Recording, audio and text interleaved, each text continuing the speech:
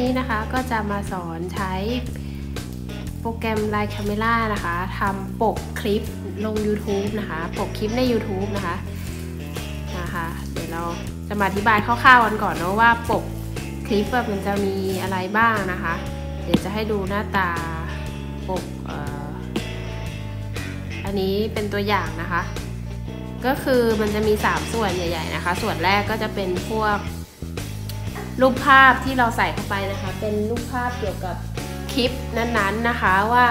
คลิปนั้นๆ เราทำเกี่ยวกับอะไรแล้วก็ใส่รูปเข้าไปนะคะ ส่วนที่2นะคะเป็นส่วนของตัวหนังสือนะคะก็คือเป็นชื่อเรื่องหรือไม่ก็หัวข้อคอนเทนต์ของคลิปนั้นๆนั่นเองนะคะ ส่วนตัวที่3นะคะก็คือโลโก้ของช่องเรานะคะ อันนี้จะขาดไม่ได้เลย เพราะว่าทำให้คนเนี่ยจำ ลิปของเราได้จำช่องของเราได้นะคะ ค่ะเดี๋ยวเราจะมาเริ่มทำกันเลยนะคะ เดี๋ยวจะมาที่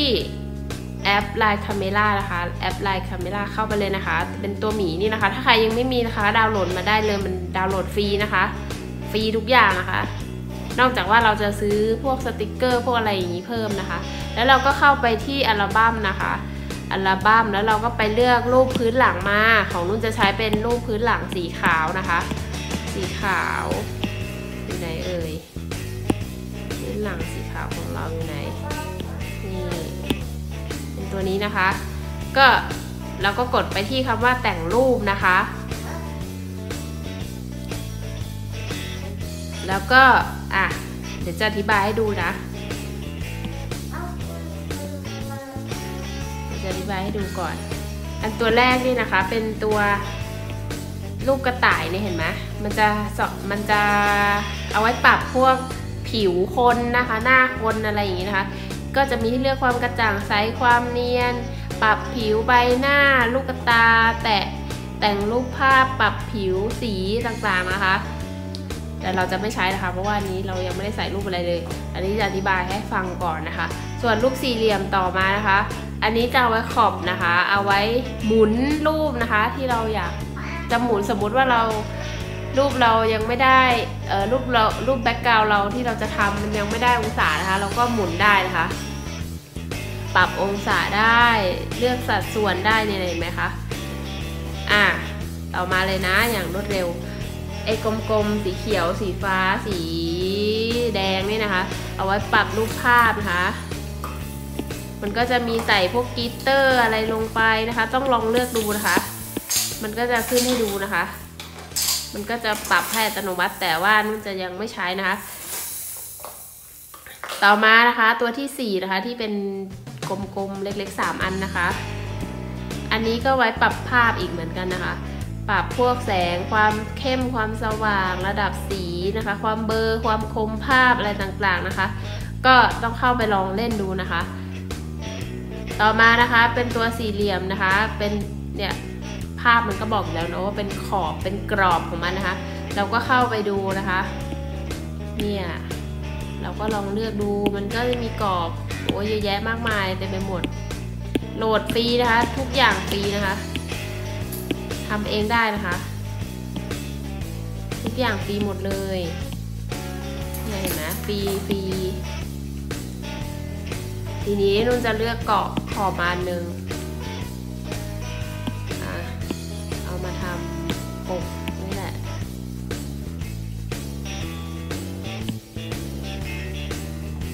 เราจะไม่ใส่ดีกว่า เราจะทำให้ดู เราไม่ใส่ดีกว่านะถ้าเราไม่ใส่เราก็เลือกกากบาทตัวสีสีด้านซ้ายเนี่ย เราก็กดไปที่รูปหนึ่งทีนะคะ ต่อมานะคะเป็นตัวรูป หัวใจอันนี้นะคะ อันนี้เป็นตัวสำคัญมากเลยเพราะว่ามันตัดรูปได้เห็นไหมรูปกันไกอะไปที่รูปกันไกนะคะ แล้วไปที่รูปเครื่องหมายบวกนะคะ แล้วเราก็เข้าไปเลือกรูปที่เราจะตัดอะมานะคะ สมมติว่านุ่นจะเลือกเป็นรูปน้องนี่มานะคะเออเอาเป็นรูปนี้แล้วกันเนาะอะแล้วเราก็กดเลือกนะคะ อันนี้เป็นรูปที่เราจะตัดนะ สมมุติว่าเราจะตัดเป็นสี่เหลี่ยมวงกลมอะไรอย่างเงี้ยมันก็ได้หมดเลยนะคะ ที่เขามีมาให้เนี่ยเห็นไหมแต่ว่าเราจะไม่ตัดแบบนั้นนะคะ เราจะตัดแบบตามตัวน้องนะคะเราก็ไปที่ด้านขวานะคะ ตรงที่มันเป็นกลมๆมนๆสี่เหลี่ยมเนี่ย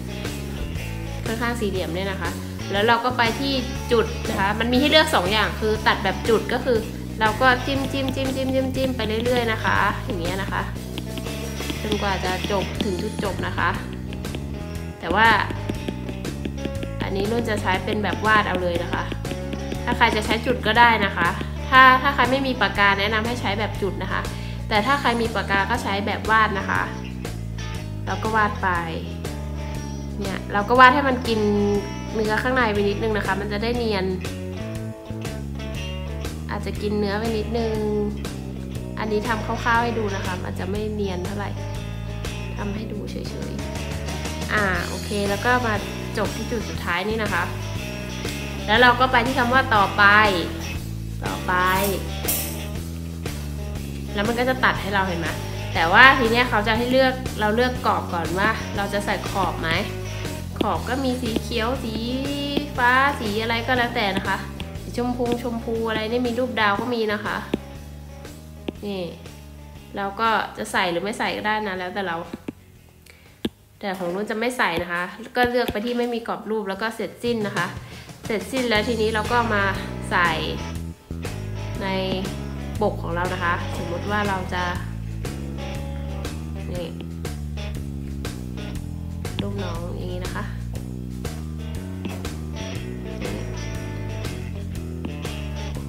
สมมติที่อยู่ตรงนี้ แล้วจะบอกว่าทีเนี้ยเวลาเราทำปกอะ เวลาเราไปลงคลิปจริง ๆ ใน YouTube อะมันจะโดนกินหัวข้างบนข้างล่างไปหน่อยนึงนะคะ ตรงเนี้ยเดี๋ยวจะให้ดูนะ ขออภัยนะคะ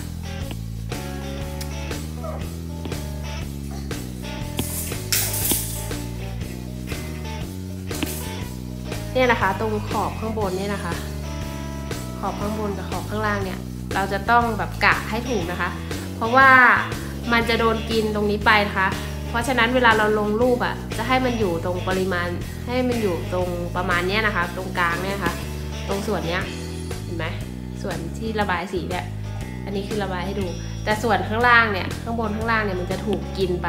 เพราะฉะนั้นเวลาเราทำอะเราต้องกะให้ดีนะคะ อันนี้นุ่นแค่ขีดขีดให้ดูนะคะ ขีดให้ดูเฉยๆเนาะ นี่นุ่นก็จะกะแล้วนะว่า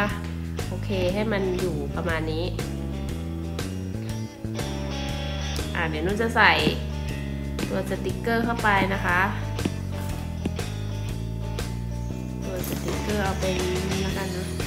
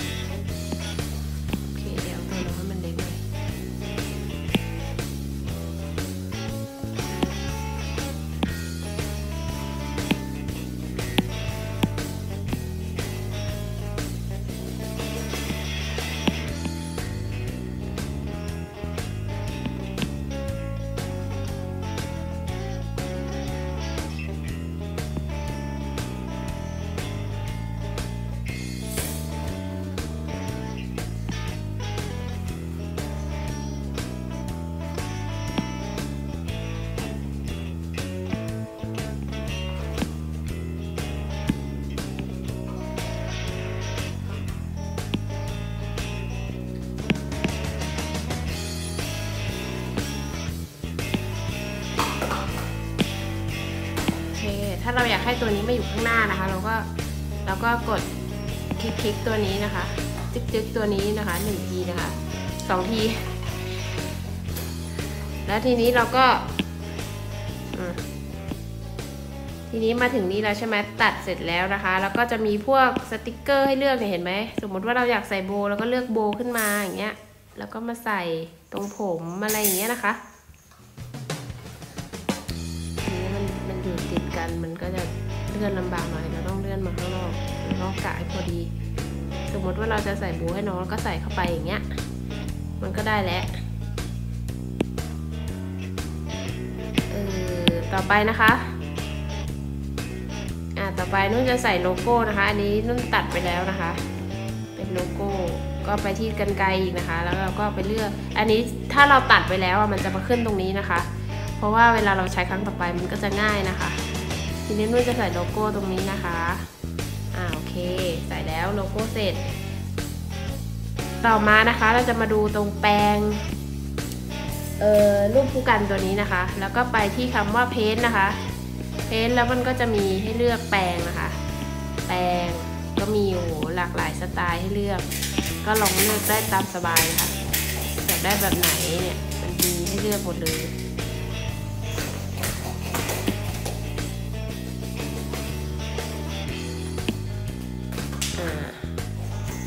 อันนี้เป็นแบบลายๆ แล้วก็มีแบบเป็นรูปภาพก็มีนะคะ เป็นรูปหัวใจ รูปดาว รูปอะไรเนี่ยนะคะ ส่วนนุ่นจะเลือกเป็นรูปเส้นปะแล้วกันเนาะ เอาสีชมพูนะ สีชมพู แล้วนุ่นก็จะมาทำให้มันเป็นแบบอย่างเงี้ยอ่า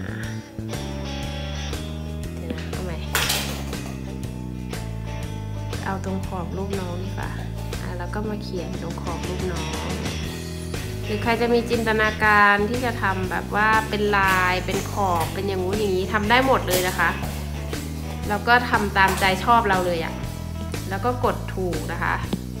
นี่เดี๋ยวจะมาปรับโลโก้ลงนิดนึง จะเอียงจะอะไรก็ได้หมดเลยนะคะเนี่ยโอเคได้แล้ว แล้วทีนี้นุ่นก็จะใส่ตัวอักษรลงไปนะคะ ตัวอักษรนี่ก็ไปตรงที่ตัวทีนะคะ แล้วก็ไปที่ข้อความ แล้วเราก็พิมพ์ลงไปนะคะ less อะไรอะ less สมมุติว่าหัวข้อคอนเทนต์เกี่ยวกับจะไปเที่ยวทะเลใช่ไหมเราใส่ที่เมื่อกี้เราใส่รูปมะพร้าวไปเนาะ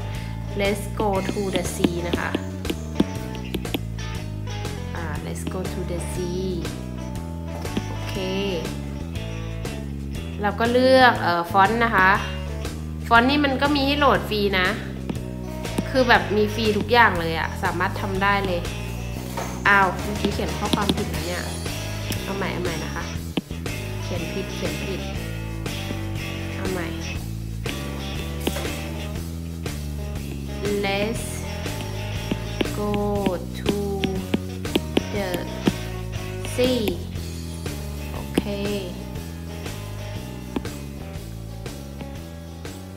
เราก็เลือกไป พยายามให้อยู่ อย่าใกล้ขอบบนล่างมากนะคะ เพราะว่าเดี๋ยวเวลาเราลงมันจะขอบสีอะไรดี ขอบสีฟ้าก็ได้นะ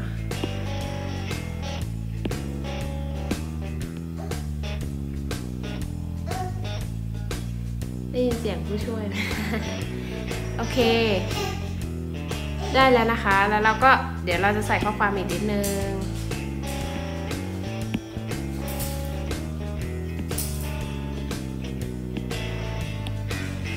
with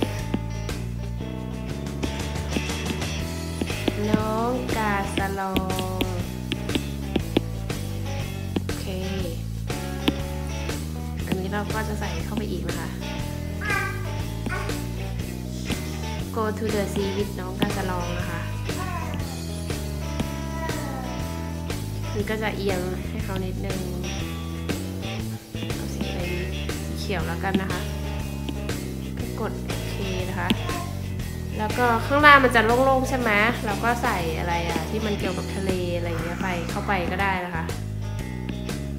เอาเป็นรูปปลาแล้วกัน อันนี้เป็นอันนี้อาจจะบางคนอาจจะไม่มีนะคะเพราะว่านนี้นุ่นโหลดมานะคะ เราก็ดูนะคะ บางทีอาจจะมีนะคะ รูปปลาถ้าใครอยากทำนะคะ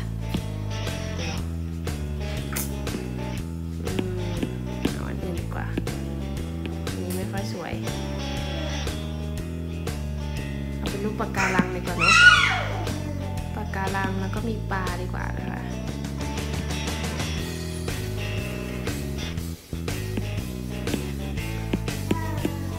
แล้วก็ลูกปลาสีสเหลืองตัวโอเค แค่นี้นะคะก็เสร็จแล้วนะคะ แล้วเราก็จะมีเนี่ยสติกเกอร์เห็นไหมมีให้เลือกเยอะแยะเต็มไปหมดอะไรก็ไม่รู้มีตัวอักษรมี A B C เลขอะไรต่างๆนะคะ เลือกเต็มไปหมดเลยอะ่ะ ใส่ได้หมดนะคะ อะทีนี้เรากลับมาที่รูปภาพ ตัว W นี่คืออะไรตัว W ก็คือเป็นลายน้ำของ LINE Camera นะคะ แต่เราไม่ต้องใส่ก็ได้นะคะแล้วเราก็ไปที่กด save นะคะ กด save ก็คือมันจะไปอยู่ในเครื่องเราแล้วก็กดตรงสีเขียวที่เป็นลูกศรเนี่ยนะคะ อ่ากดลงไปเลยก็เสร็จแล้วเป็นอันเสร็จเรียบร้อย แล้วก็กดที่เสร็จสิ้นนะคะ